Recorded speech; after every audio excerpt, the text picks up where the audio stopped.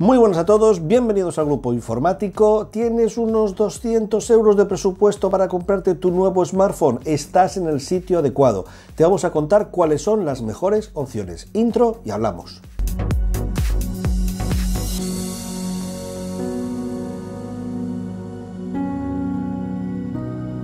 Y la primera opción es el Redmi Note 8T.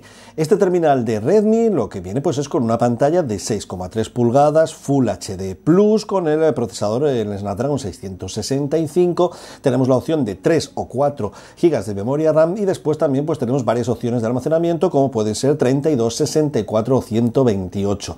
Respecto a las cámaras pues tenemos cuatro sensores traseros de 48, de 8, de 2 y de 2 megapíxeles respectivamente cada uno. Es un terminal que en sus cosas buenas tenemos una gran construcción, sobre todo por el precio que tiene.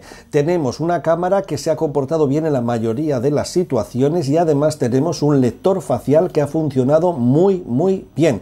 De todas formas, aquellas cosas que no están tan bien, bueno, pues es un sonido que es algo mejorable y el lector de huellas que funciona medianamente bien, pues es que está en una posición un poquito alta, sobre todo para aquellas personas que tengan una mano un poquito más, eh, más eh, pequeña. Y todo esto, pues lo tenemos por unos 180 euros eh, aproximadamente, así que una muy buena opción para estar en esta lista. La segunda opción que os damos es el Huawei P Smart Plus 2019. Este terminal tiene 6,21 pulgadas de pantalla con una resolución 2340 x 1080 píxeles, además de, del Kirin 710 como procesador, 3 GB de memoria RAM y 64 de almacenamiento interno. En cuanto a la cámara, pues tres sensores, 24, 16 y 2 megapíxeles y una batería de 3400 miliamperios. Lo mejor que tiene este Huawei pues es su construcción, materiales de calidad, tenemos una buena cámara trasera, sobre todo el sensor gran angular y además tenemos una pantalla que da verdadero nivel. Aquellas cosillas que no están tan bien en este Huawei pues es que a veces se calienta demasiado y que eh, la batería es algo justa. Todo esto lo englobamos en su precio, 189 euros ahora mismo para que te lo puedas comprar. La siguiente opción que os presentamos es el LG Q60. Este terminal de LG tiene una pantalla de 6,26 pulgadas con resolución HD que tiene además pues 3 GB de memoria RAM, el Helio P22 como procesador y después en la parte trasera pues tiene tres sensores de 16, 2 y 5 megapíxeles, además de una cámara frontal de 13 megapíxeles, todo ello con una batería de 3500 miliamperios. Aquellos apartados en los que destaca este LG Q60 pues es que tenemos una construcción, sobre todo en el apartado de ligereza, muy bien conseguido. Tenemos además una buena pantalla y además tenemos un muy buen sonido. Aquello otro que no está tan bien, bueno, pues que a lo mejor no es tan potente como otros terminales que llevan otro tipo de procesador y que la cámara también podía ser algo mejor. Este terminal lo podéis eh, adquirir por un 169 euros aproximadamente. La cuarta opción es el Sony Xperia L3.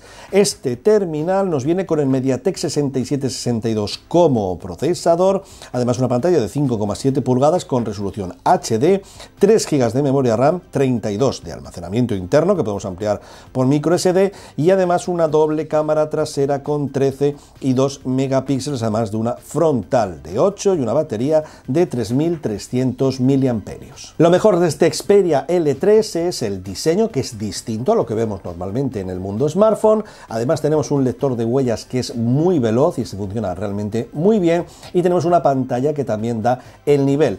En lo que no es tan bueno, pues también podemos poner el diseño, puesto que es un diseño distinto y no a todo el mundo le gustará.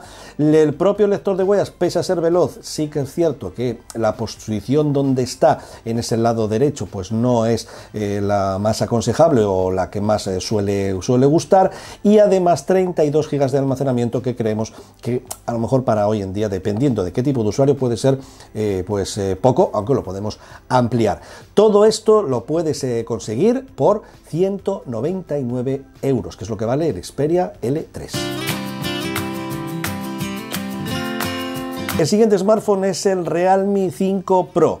Este terminal nos viene con el Snapdragon 712 como procesador, además de 8 GB de memoria RAM, 6,3 eh, pulgadas de pantalla Full HD Plus y después una pues cuádruple lente trasera de 48, 8, 2 y 2 megapíxeles, además de una batería de 4035 mAh con la carga rápida VOOC, la propia de Oppo. Y lo mejor de este Realme 5 Pro pues es que tenemos muy buena autonomía, tenemos un rendimiento elevado y además muchas posibilidades a nivel fotográfico con una app de, de fotografía muy buena.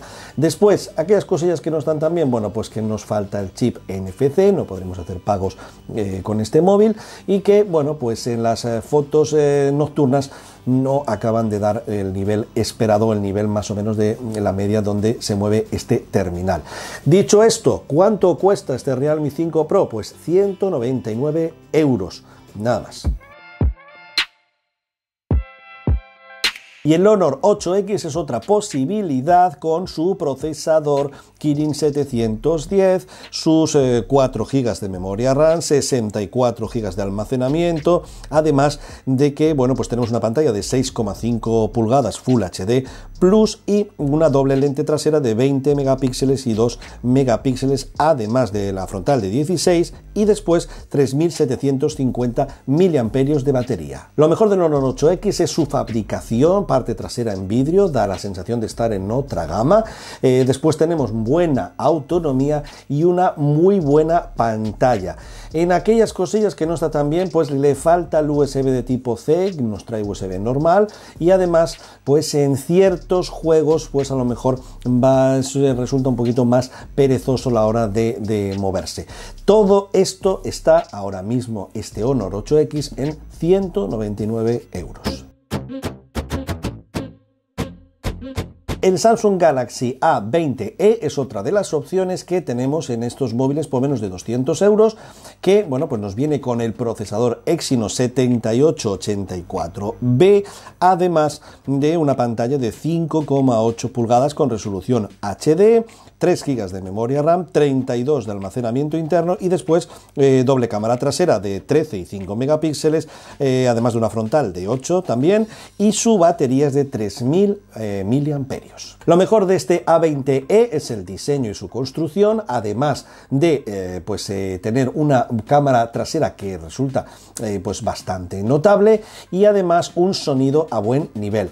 Dos cosillas que no están tan bien, pues es la pantalla, que no han optado por poner una AMOLED y pues se nota que la calidad pues es algo peor que la de eh, otros terminales eh, de la misma gama. Y después pues eh, en aquellos juegos verdaderamente potentes se vuelve un poquito perezoso y los mueve algunas veces sobre todo la carga con algo de dificultad este pues A20e precio de este terminal 199 euros